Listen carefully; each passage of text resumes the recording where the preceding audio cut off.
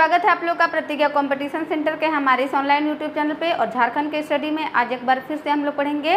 झारखंड के five top current affairs के question को, जो कि एग्ज़ाम के व्यू से काफ़ी इंपॉर्टेंट है, ठीक है? तो यहाँ पे चलते हैं फ़र्स्ट क्वेश्चन पे।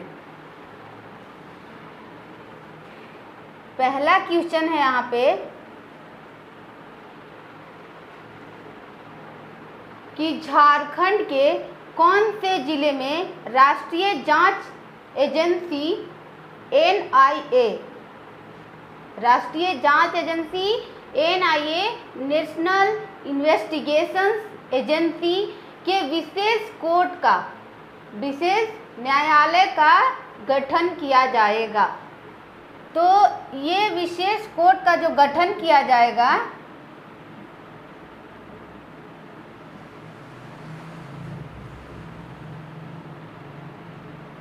ये आपका रांची में किया जाएगा।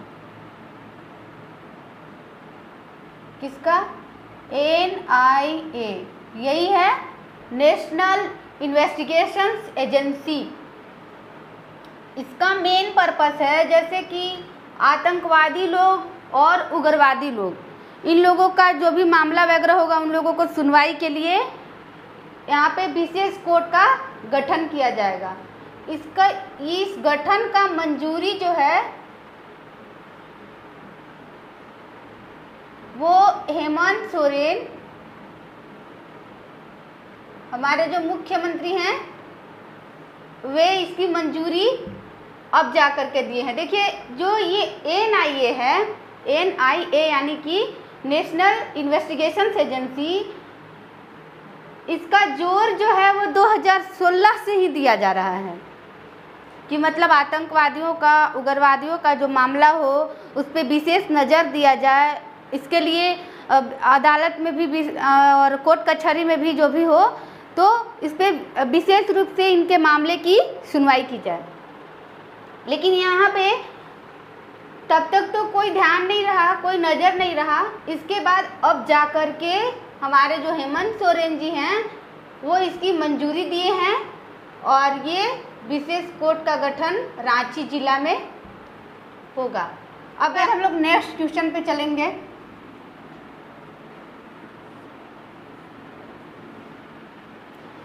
झारखंड राज्य खाद्य सुरक्षा योजना लागू होने के बाद लाभुकों को एक रुपये प्रति किलो के दर से कितने किलो अनाज दिए जाने का प्रावधान रखा गया है?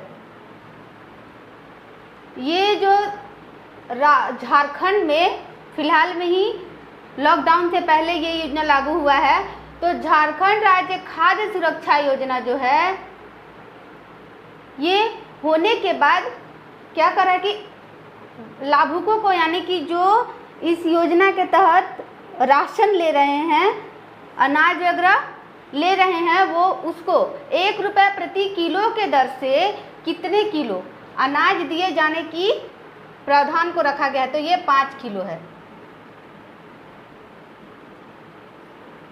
पाँच किलो अनाज जो है, वो पर मंथ दिया जाएगा। और पर मंथ दिया जाएगा तो जैसे एक केजी एक केजी अनाज का जो दाम होगा, वो एक रुपया होगा। ठीक है? यहाँ पे एक केजी अनाज का दाम एक रुपया होगा। और पाँच किलो जो दिया जाएगा अनाज तो फैमिली मेंबर में टोटल फैमिली को बस कार्ड होना चाहिए, जिस कार्ड से आप अनाज को ले सकते हैं। इस योजना के तहत तो यहाँ पे उस कार्ड के अनुसार प्रत्येक में, फैमिली के प्रत्येक मेंबर को पाँच पाँच के जी दिया जाएगा। यानी ये नहीं कि मतलब सिर्फ़ एक फैमिली पे दिया जाएगा।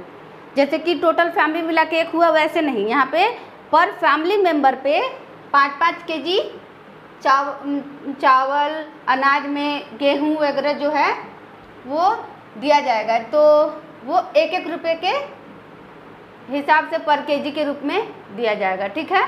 प्रधानमंत्री मत्स्य संपदा योजना के तहत महिलाओं और पुरुषों को कुल खर्च पर कितने रुपए का अनुदान मिलेगा? देखिए, ये योजना जो है, प्रधानमंत्री मत्स्य संपदा योजना ये योजना सेंट्रल लेवल पे है। ये योजना है, ये सेंट्रल लेवल पे है और शुरुआत जो है, वो नरेंद्र मोदी के द्वारा किया गया है। नरेंद्र मोदी के द्वारा किया गया है। लेकिन अब इसकी शुरुआत जो है, वो झारखंड में भी हो गई है।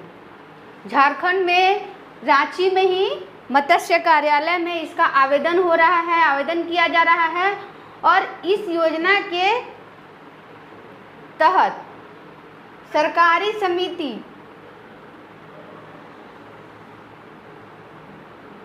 सरकारी समिति भी भाग लेंगे और पुरुष भी और महिला भी। यहाँ पे पूछ रहा है कि कुल खर्च पर कितने रुपए का अनुदान मिलेगा? जैसे कि मान लीजिए ये मत्स्य संपदा योजना है, यानी कि मछली पालन का योजना है। तो मछली पालन जो करेगा, वो लोग तालाब खोदेगा, मछली का चारा, मछली का हर मतलब मत्स्य पालन का हर व्यवस्था को टोटल रूप से क्लियर करना है। तो इस योजना के तहत उन लोगों को वित्तीय सहायता दी जाएगी। और वित्तीय सहायता जो दी जाएगी, इसमें सरकारी समिति को भी दिया जाएगा। ये लोग भी मत्स्य पालन को करेंगे और झारखंड में पुरुष और महिला लोग भी करेंगे। तो पुरुष और महिला लोग जो करेंगे, इसमें जैसे कि मान लीजिए, ये आपका इस योजना के तहत एक लाख रुपया आता है, ठीक है? ये एक लाख रुपया हुआ। तो ये एक लाख रुपया में सिक्सटी परसेंट जो है, वो महिला को और फोर्टी परसेंट पुरुष को ये वित्तीय वित्तीय सहायता प्रदान करेगी। मत्स्य पालन के लिए, ठीक है? इसके बाद हम लोग चलेंगे नेक्स्ट क्वेश्चन पे। खंड के कौन से ज़िले में झारखंड का पहला मछली ऑनलाइन बिक्री का सेंटर खोला? जाए देखिए, ये जिला है आपका रांची ही। Ranchi capital of Jharkhand. So ये रांची का आपका अनगढ़ा प्रखंड है। ठीक है? अनगढ़ा प्रखंड का डैम है। यहीं पे मछली का ऑनलाइन बिक्री सेंटर यानी कि मछली बेचने का ऑनलाइन बिक्री सेंटर खोला गया है। देखिए, ये जो ऑनलाइन बिक्री सेंटर है, मछली का, यहाँ पे आप मोबाइल पे एक क्लिक के द्वारा यहाँ पे मछली का क्या भाव है, क्या रेट है, और मछली की सारी दशा को आप मोबाइल पे ही देख सकते हैं। ये जो बिक्री कर रहा है, ये एक व्हाट्सएप नंबर भी रखा हुआ है, जिसके ज़रिए ये डायरेक्ट आपको ऑनलाइन सारे चीज़ को दिखाएगा। नेक्स्ट क्वेश्चन है। कि झारखंड के कितने ज़िले में ई एफ़ आई आर थाना खोला जाएगा?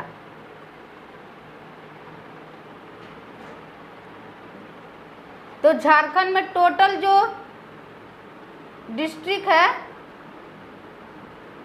वो आपका twenty four twenty four district में आपका बाईस डिस्ट्रिक्ट जो है, इसमें ई एफ़ आई आर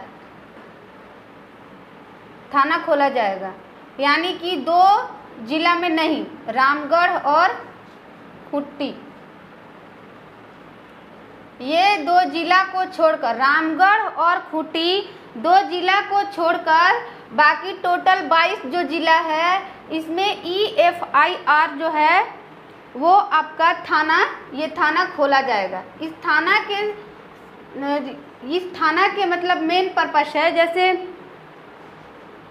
कोई भी मशावरा हुआ या फिर समस्या हुआ, उस पर एफ़ दर्ज करना है यहाँ पे। तो इसको इलेक्ट्रॉनिक माध्यम से, मोबाइल ऐप के द्वारा द्वारा या फिर कोई पोर्टल पोर्टल के द्वारा ऑनलाइन ही एफ़ किया जाएगा। उनके पाँच टॉप करंट अफेयर्स के क्वेश्चन जो कि एग्ज़ाम के से काफ़ी इम्पोर्टेंट हैं।